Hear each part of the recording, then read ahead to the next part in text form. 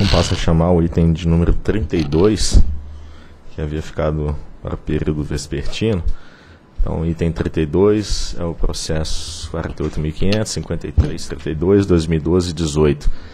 Pedido de reconsideração interposto pela Companhia Estadual de Geração e Transmissão de Energia Elétrica, em face da Resolução Normativa 521 de 2012,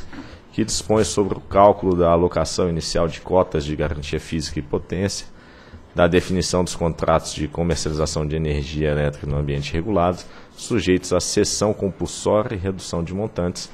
e da revisão extraordinária das tarifas de distribuição nos termos da medida provisória 579 de 2012. Diretor relator, doutor André Peptoni, informo que há pedido de sustentação oral. Em 11 de janeiro de 2013, foi promulgada a Lei 12.783, com, com, convertendo a medida provisória 579 de 11 de setembro de 2012, que dispõe sobre as concessões de geração, transmissão e distribuição de energia elétrica, sobre a redução dos encargos setoriais, sobre a multidade tarifária e da outras providências. Entre os dispositivos presentes na Lei 12.783 de 2012, encontram-se condições para a prorrogação das concessões às concessionárias de geração e de transmissão. No caso específico da geração, foi prevista, dentre outros requisitos, a disponibilização das usinas hidrelétricas prorrogadas para alocação em cotas de garantia física de energia e de potência às distribuidoras do Sistema Interligado Nacional. Em 14 de setembro de 2012, foi editado o decreto número 7805, regulamentando as condições para a prorrogação e antecipação dos efeitos dessa prorrogação às tarifas dos consumidores finais. Nesse decreto, foram estabelecidas as competências à ANEL para definir, até 20 de janeiro de 2013, a alocação inicial de cotas de garantia física de energia e de potência, observando o mercado de cada distribuidora e o equilíbrio na redução das tarifas. Em 30 de outubro de 2012, a diretoria da ANEL aprovou a instalação de audiência pública, foi audiência pública 90/2012, com o objetivo de obter subsídios para o cálculo da alocação inicial de cotas de garantia física de energia e de potência, definição dos contratos de comercialização de energia no ambiente regulado, CCARs, sujeitos à transferência compulsória e redução dos montantes e procedimento de revisão extraordinária das tarifas de fornecimento, nos termos da medida provisória 579 e do decreto 7805. O período de contribuição dessa audiência encerrou-se em 15 de novembro de 2012. Assim, senhores diretores, em 4 de dezembro de 2012, as geradoras e as transmissoras assinaram os termos aditivos aos respectivos contratos de concessão, cujo objeto foi a prorrogação daquela concessão por mais 30 anos. Em 14 de dezembro de 2012, a ANEL aprovou a Resolução Normativa 521, que trata dos procedimentos para o cálculo de cotas de usinas com a concessão prorrogada e da revisão extraordinária. E em 24 de janeiro de 2013, a ANEL homologou as sessões e as reduções dos CCARs, além das cotas de garantia física, em conformidade com a Resolução Normativa 521. Então, em 14 de. É, a Resolução 521 é aquela que trata da norma e uma vez aprovada a norma, na sequência ela foi praticada. Sendo que em 9 de abril de 2013 a CE interpôs pedido de reconsideração em face da Resolução Normativa 521 de 2013. Em síntese, a CEGT informou possuir 424,6 MW médios de garantia física lastreados por centrais geradoras constantes do contrato de concessão de geração número 25/2000 ANEL as principais usinas do parque gerador da CEGT tinham o vencimento de sua concessão em 2015, à exceção da UHE Itaúba, com concessão Vicenda em 2021. As concessões prorrogadas totalizaram 233,87 MW médios, os quais, os quais passaram a lastrear os contratos de cotas a partir de 1 de janeiro de 2013. Entre 2011 e 2012, a CEGT comercializou energia no ambiente de contratação livre, o ACL, do montante de 236,9 MW médios de 2013 até 2015, concatenando com, concatenado com o vencimento da outorga das usinas. O lastro para essa contratação era a garantia física de usinas que lastreavam contratos cujo termo final ocorreria em 31 de dezembro de 2012, concernentes aos CCARs 2005-2012. Então, o que a CEA fez foi tão somente comercializar essa energia do término do CCAR, em que essa energia estava comprometida, até o término da concessão da usina, que se daria logo em seguida. A CEGT assinalou que detinha 451 megawatts médios para comercialização em 2013. Desse montante, 434 megawatts médios já estavam contratados antes do anúncio da medida provisória 579 de 2012 sendo 171,6 megawatts médios no ambiente de contratação regulada, ou ACR, e 262,5 megawatts médios no ambiente de contratação livre. A concessionária argumentou que o cenário por ela previsto contemplava o requisito de carga total de 496 megawatts médios, ou seja, assim compostos 233,87 megawatts médios em cotas e 262,5 megawatts médios no ACL, contra recursos disponíveis no montante de 5, 451 megawatts médios, o que resultaria em um déficit de 45 megawatts médios, ou seja, 45 megawatts médios de venda descoberta, os quais teriam de ser contratados no mercado. Assim, a CEGT teria concluído pela viabilidade econômica da prorrogação considerando que a média anual do PLD dos últimos seis anos era de R$ 72,14. A CGT asseverou que a regra estabelecida na Resolução Normativa 521 de 2012 introduziu situação nova, na medida em que a concessionária teria que honrar os CCARs de energia existente para o ano de 2013, além de honrar também os montantes relativos às cotas e também às vendas no ambiente de contratação livre, o ACL, ou seja, os 233 que são comprometidos com cotas e os 262 comprometidos no ACL. Essa obrigação teria resultado no agravamento da posição vendida a descoberto, de 45 MW médios para 216,60 MW médios, uma vez que, nos termos da Resolução Normativa 521 de 2012, não mais haver a descontratação de 171,6 megawatts médios comercializados no ACR, o que era a expectativa da empresa. A CSGT sustentou ainda que a decisão inesperada de alguns agentes de geração de energia elétrica de não aderirem à proposta de renovação das concessões, conforme definição do governo, aliado a inesperado regime hidrológico desfavorável, dificultaram a aquisição de energia a preços razoáveis no mercado de curto prazo, o que representaria o dispêndio de, aproximada, de aproximados 467 milhões de reais ano, que somados à aplicação da penalidade por insuficiência de lastro, poderia chegar a valores da ordem de 1 bilhão de reais. Essa situação teria sido agravada pela edição da resolução CNPE 3 de 6 de março de 2013, que promoveu a elevação do PLD e ocasionou também custos adicionais às empresas geradoras. A CEGT informou já ter externado esse entendimento à ANEL, quando da manifestação ao ofício 253 253 de 2012 da SRE, cujo assunto era opção de redução de contratos nos termos do artigo 12 da medida provisória 579 de 2012 mediante o documento de número 140, a é, a, a, sobre o qual alegou a empresa não ter recebido resposta. E assim diz, era o dispõe o documento, que por tudo isto, de assim afirma a CE, por tudo isso vimos nesse, é, por este meio manifestar que a CEGT tem interesse na redução integral de CCARs de energia vigente em 2013 em diante, totalizando 174 megawatts médios,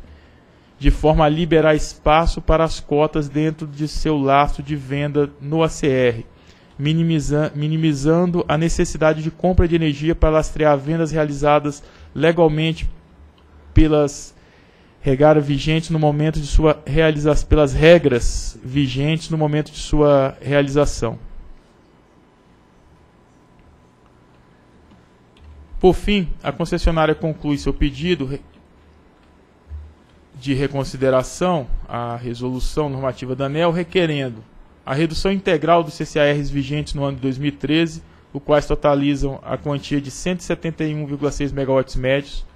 Subsidiariamente, caso o pedido anterior não seja reconhecido, a redução do CCAR 2005-2012 proporcionalmente às garantias físicas das usinas de Itaúba, Dona Francisca, Toca e Ivaí, perfazendo um montante de 106,6 MW médios. Recontabilização mensal da CCE desde janeiro de 2013. Suspensão da liquidação financeira da CCE e da cobrança dos valores para os anos 2013 e 2014. Suspensão do aporte de garantia financeiras na CCE ajuste na sazonalização de garantia física das usinas da CCE decorrentes da descontratação de CCARs. E, por fim, que a CEGT seja isentada da aplicação de penalidade por falta de laço de energia e potência para os anos de 2013 e 2014. Em 15 de maio de 2013, a CEGT protocolou petição requerendo a concessão incidental da suspensão de penalidade a ser impostas à empresa, à distribuidora, decorrente da falta de lastro de energia e de potência, enquanto pendente a apreciação do mérito do recurso administrativo interposto. Que hora se faz a apreciação do mérito. Em 10 de junho de 2013, a Superintendência de Regulação Econômica, SRE, emitiu a nota técnica 216, na qual examinou as razões apresentadas pela CEGT. É o relatório. A sustentação oral será feita pelo Dr. Carlos Ronaldo Fernandes, representante da CEGT.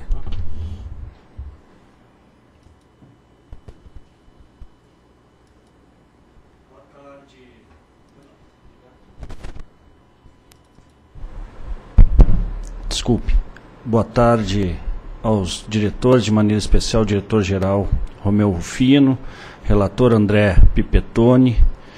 e o diretor Edivaldo Santana. A apresentação do, do relato pelo uh, eminente diretor André Pipetoni uh, é tão completo e tão detalhado que praticamente a minha exposição oral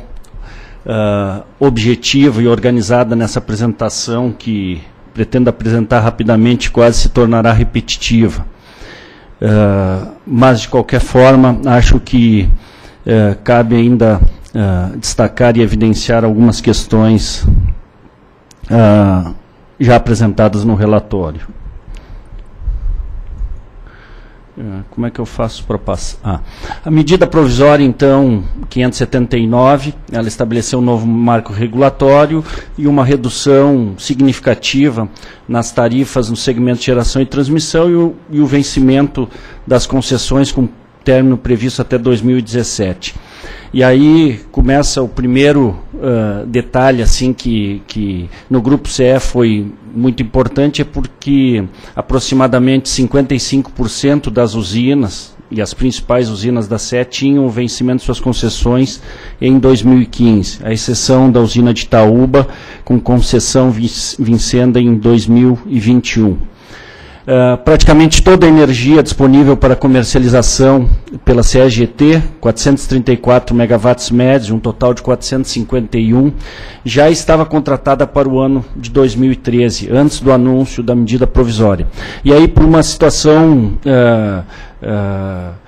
que a gente deve destacar numa empresa pública com, eh, e estatal. Uh, como a medida provisória ela saiu apenas em, em setembro e uma empresa pública para efetuar suas vendas ela decorre de todo um processo de chamadas públicas uh, e portanto não se trata de contratos bilaterais de, em que tu possa fazer num período curto a CS antecipou a, a, uma, a um possível descontinuidade do fluxo de caixa no mês uh, de janeiro e seguintes do ano de 2013 e comercializou no ambiente de contratação livre. Uh, ou seja, no movimento de venda da CE no ambiente livre não houve qualquer busca de majoração ou uh, que pudesse afrontar a modicidade tarifária, uma vez que os valores vendidos no mercado livre estão praticamente no mesmo patamar do ambiente de contratação regulada. Desse total, montante 171,6 megawatts médios foram comercializados então no ambiente regulado e 262 no ambiente de contratação livre pelas questões que eu já evidenciei.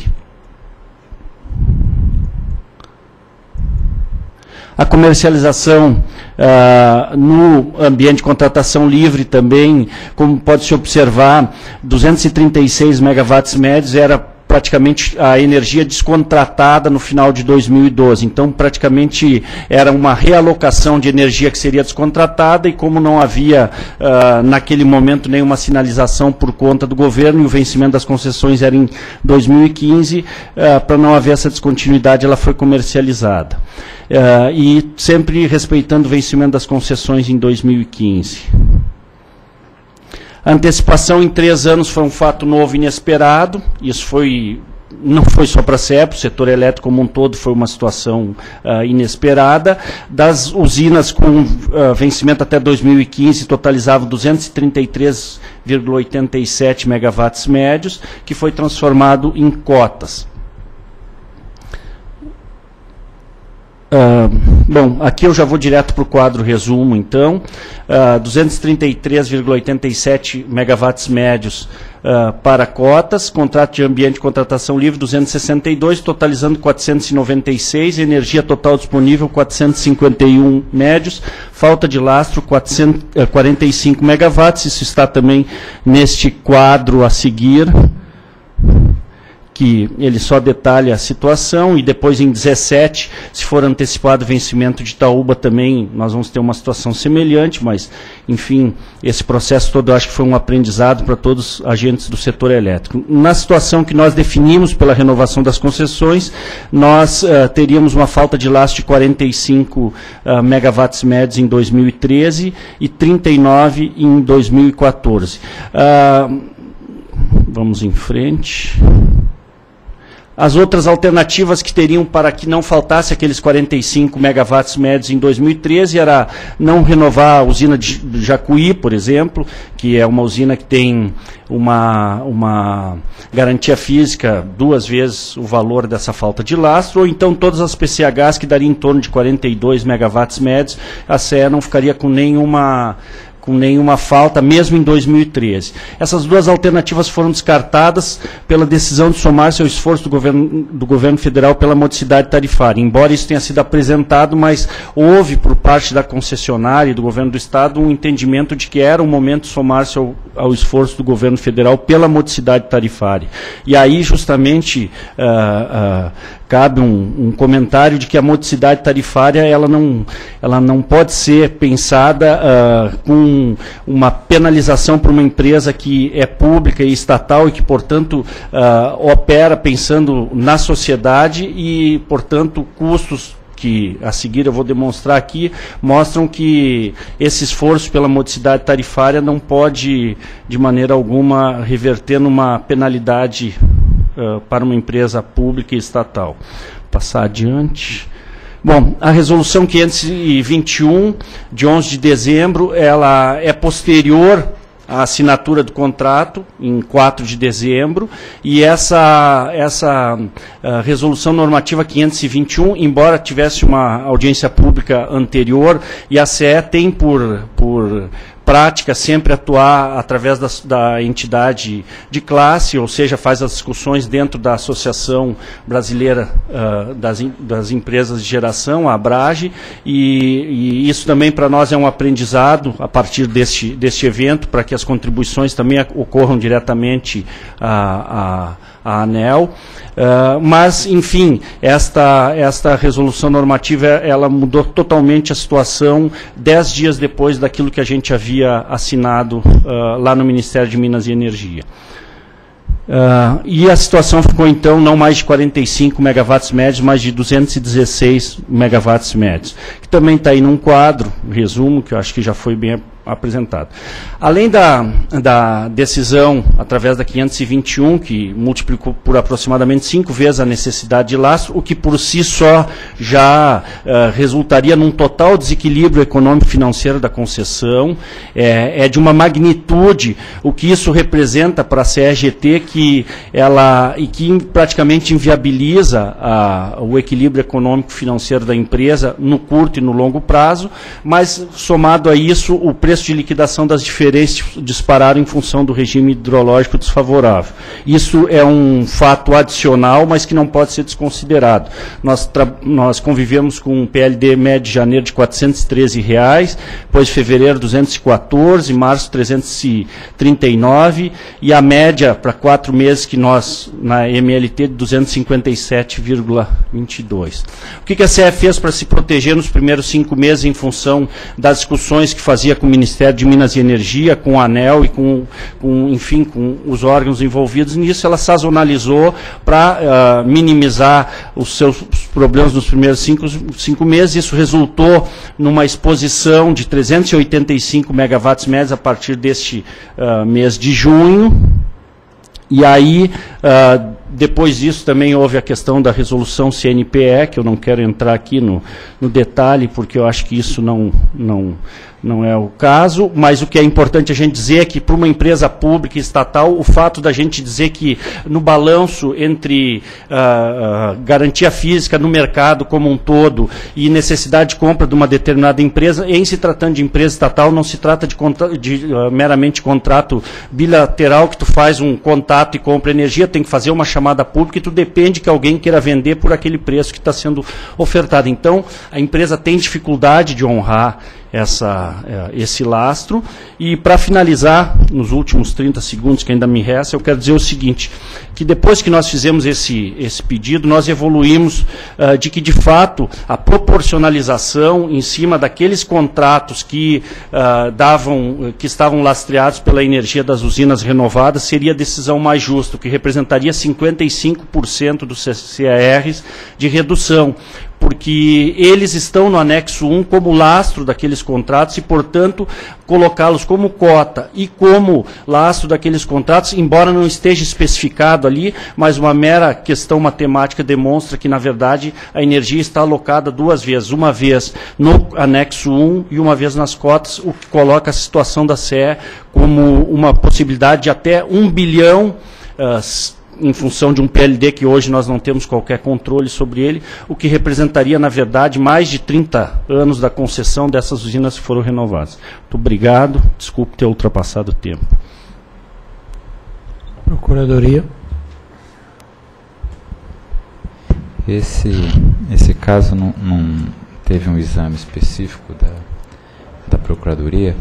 mas de qualquer forma aqui há uma discussão, ao que parece, contra as próprias disposições da, da lei. Não, não parece haver aqui muito espaço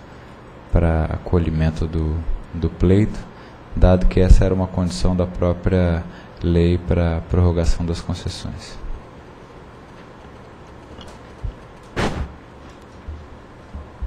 Os termos do artigo 50, combinado com o artigo 48, ambos da resolução 273 de, 2010, de 10 de julho de 2007, que dispõe sobre os procedimentos para o funcionamento, a ordem dos trabalhos e os processos decisórios da ANEL, o prazo para interposição de pedido de reconsideração é de 10, seria de 10 dias contados a partir da, da cientificação oficial.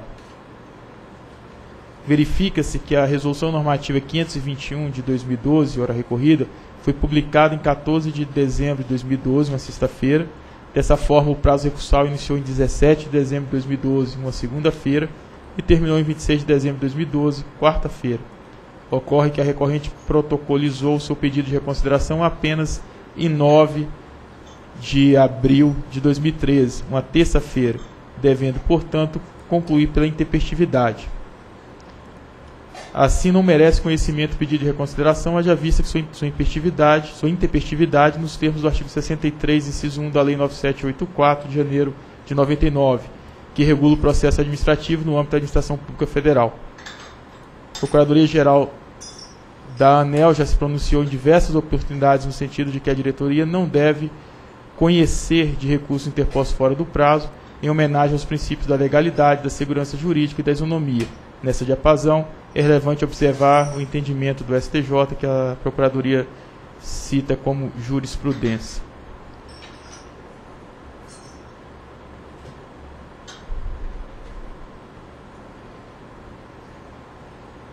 Impende destacar, contudo, que, segundo o parágrafo 2 do artigo 63 da Lei 9784, o não conhecimento do recurso não impede a administração de rever de ofício o ato legal, desde que não ocorrida a preclusão administrativa. É que, no caso, como decorrido o prazo para recurso, já houve a preclusão quanto à impugnação do conteúdo da Resolução 521 de 2012, devendo-se conhecer o requerimento da CEGT como exercício do direito de petição, apenas para se corrigir, se for o caso, alguma ilegalidade. Então, senhores diretores, eu estou entendendo que a peça ela é intempestiva, se avaliada como recurso. Entretanto, eu estou reconhecendo a, a petição da, da CE a título de, do exercício do direito de petição e que, caso tenha alguma irregularidade, forçoso corrigi-la.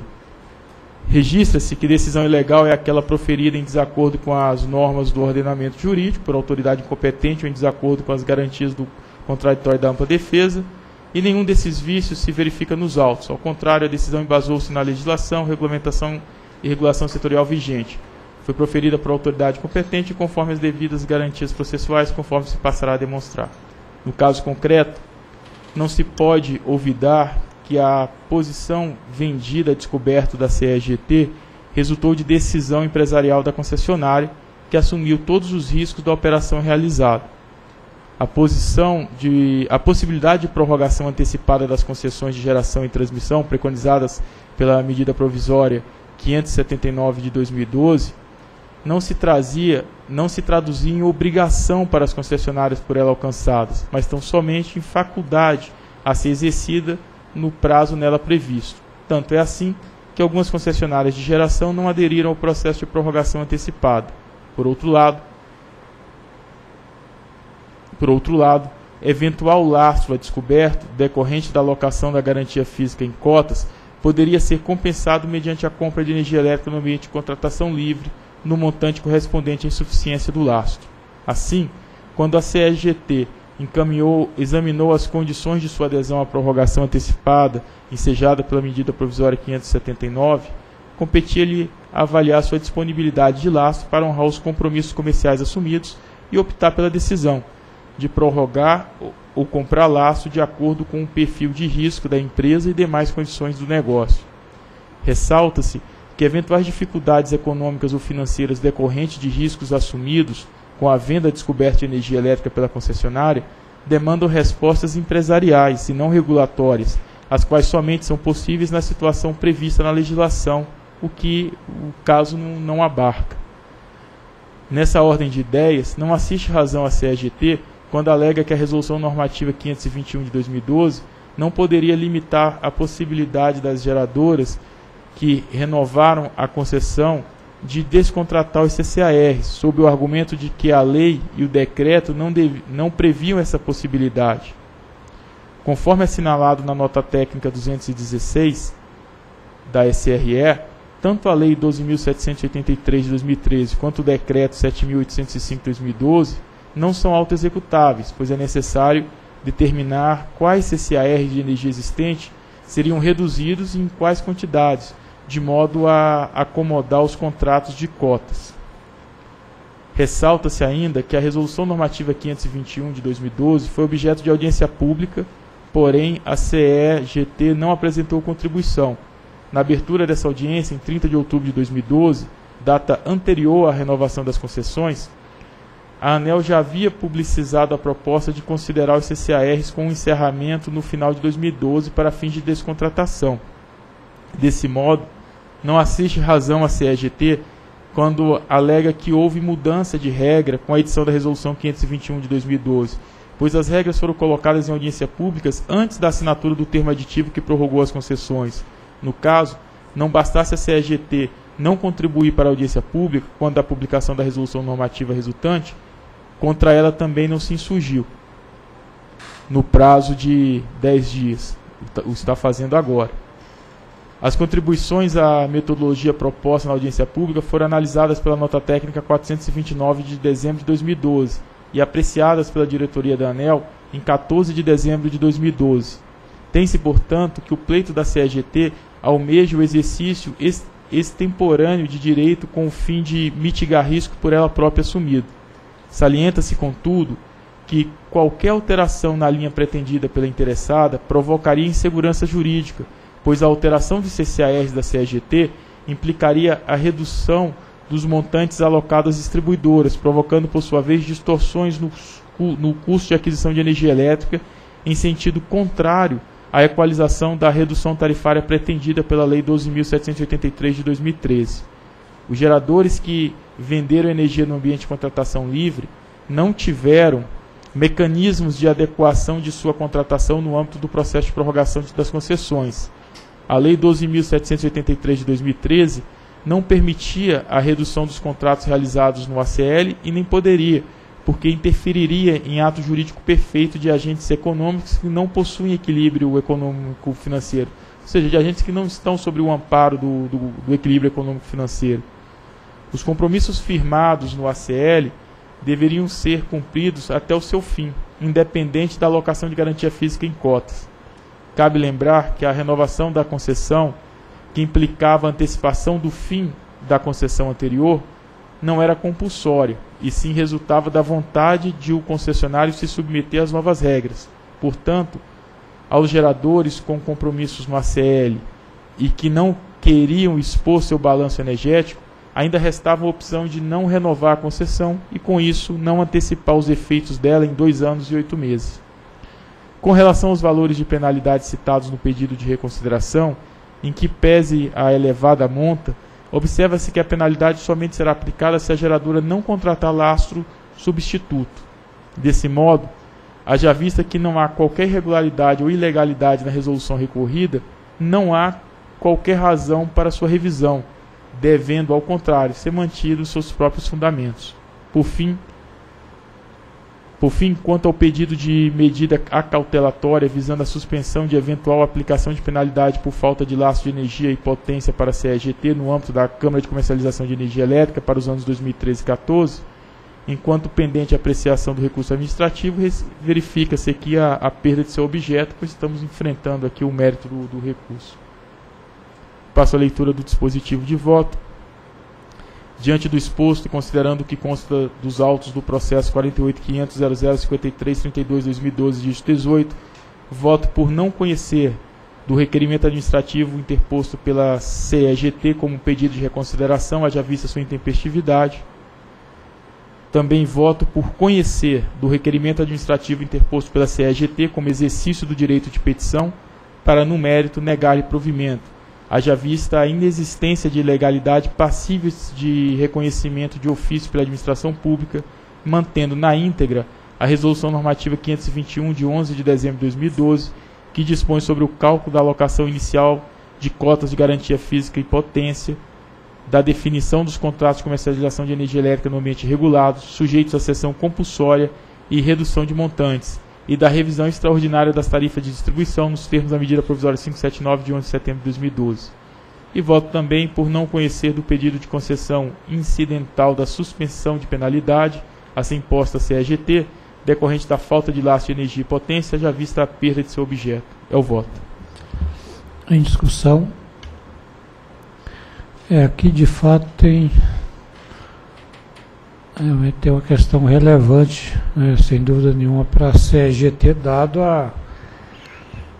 a forma que essa situação impacta a condição econômico-financeira da empresa. Né? Mas é, não há mesmo muito o que fazer na medida em que é louvável, digamos assim, a preocupação que a CE teve no sentido de colaborar com o processo lá da renovação das concessões, no sentido de aderir à antecipação, mas aqui, na linha do aprendizado que o senhor colocou na sustentação oral, talvez naquela oportunidade fosse o momento mais propício para expor essa situação lá para o poder concedente, olha, tenho interesse em aderir, antecipar, mas tem aqui uma condição contratual que eu preciso mitigar. Talvez lá pudesse, de alguma maneira, criar espaço. Agora, como bem relatou o doutor André, eu, apesar de sensibilidade que temos com a gravidade da situação, mas não identificamos aqui, pelos limites que nós temos aqui em termos da nossa atuação, como é, é, flexibilizar essa situação, né? porque não há como modificar a forma de alocação de cota, isso foi uma situação é, que não, não comporta uma forma alternativa, e também o compromisso anterior do contrato também não tem como afastar esse compromisso contratual. Então, e aí foi de fato uma infeliz coincidência que, além dessas duas questões, da antecipação da renovação, ainda vivemos num período de adverso do ponto de vista do PLD, né, do custo de energia no mercado livre, aí fica difícil a contratação para o lastro e ficar exposto aí é um, uma situação insustentável. Então, realmente, é uma situação complexa, mas eu concordo com o doutor André que eu não vislumbro aqui como, enfim, como superar essa questão, né? no, no, no, dentro do arcabouço que nós somos obrigados aqui a, a, a agir. Né? É, de fato, doutor Romeu, interagir com a empresa, eu recebi em reunião, a gente tem sensibilidade com a, com a dimensão aqui do, da questão, mas esse é aquele processo que eu acho que nenhum relator gostaria de relatar. Felizmente, na nossa atuação aqui, nós temos que observar a legislação, o regulamento em vigor e, de fato, fiz um esforço grande junto à área técnica, a SRE, que está aqui, o Davi e o Bruno, que se envolveram bastante nessa questão, mas do ponto de vista regulatório, doutor Romeu, a gente não encontrou solução. Se houver uma solução para esse caso, a gente precisa achar, é, mas não é no, no ambiente da, da regulação, não é na casa da regulação que a gente vai conseguir resolver essa questão. Até por isso que eu me esforcei para pautar esse processo hoje, para que se desse o sinal claro para o mercado, para a própria empresa, da, da maneira como o regulador enfrenta essa questão e ainda haver algum tempo para que se busque uma solução, mas na, não aqui do ponto de vista regulatório. Pelo que eu pude perceber do, do relato dos fatos e até da, da sustentação, as, as, me parece que a CE interpretou a resolução normativa 521 ainda na, na audiência pública de forma equivocada, porque vocês não contavam que tivesse que honrar com os CCARs, correto? Que os CCARs seriam zerados e aí seriam dois compromissos, o, os contratos no ambiente regulados, que estariam agora sob regime de cotas, e os contratos no ambiente livre. E aí foram se deparar num momento posterior que a, o, o texto da resolução normativa 521 conduzia a um outro resultado, onde deveria ser honrado o CCAR, os contratos de cotas e os contratos do, do ambiente livre. Então tiveram que conviver com cota e CCAR. Houve uma redução, correto, Davi, dos CCARs de da CE, mas não o suficiente para zerá-los em sua plenitude, que era o que a empresa almejava. E agora, como disse o diretor-geral, doutor Romeu, é, a gente não tem margem para mexer nem na alocação de cotas, nem na alocação de CCAR nesse momento. Que aí a gente estaria des, é, desestabilizando uma relação contratual que ocorre com, as, com todas as distribuidoras que atuam no ambiente regulado. Pois não. o presidente da sessão, mas o senhor poderia usar aqui a pode, tribuna? Pode ficar à vontade. Então, em, em, que pese na nota técnica que fundamentou o, o voto, uh, constar que a correspondência que nós encaminhamos para a Superintendência de Regulação Econômica, ela não precisaria ser respondida porque estava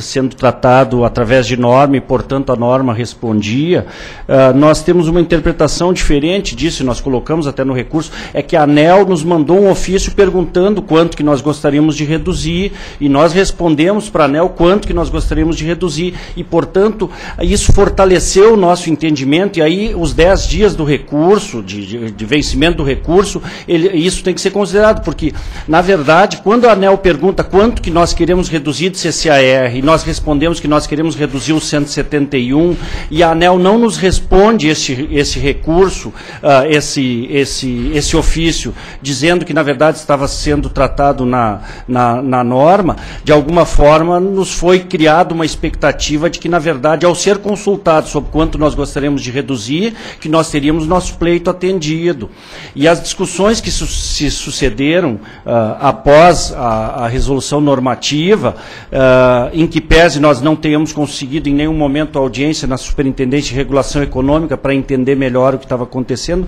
o entendimento de todo mundo é que uh, tinha fundamento essa questão da proporcionalidade que a SE defendia. Mas eu entendo o voto dos, dos diretores, e, mas eu só gostaria de deixar isso, uh, porque isso não é uma questão menor. Quando a ANEL pergunta para um agente quanto que ela quer reduzir, qual o montante que é reduzido do CCAR, é porque ela está interpretando que naquilo que nós temos contratado é possível reduzir. E quando ela não responde um ofício nosso uh, e, e não se manifesta por escrito da mesma forma, dizendo que aquele ofício não era procedente, e até hoje não respondeu, eu acho que uh, o que está colocado na nota técnica, que não precisa responder porque a norma técnica, já, a norma 521 já respondia, ela cria, na verdade, um conflito. Então, se respondia, por que, que perguntou?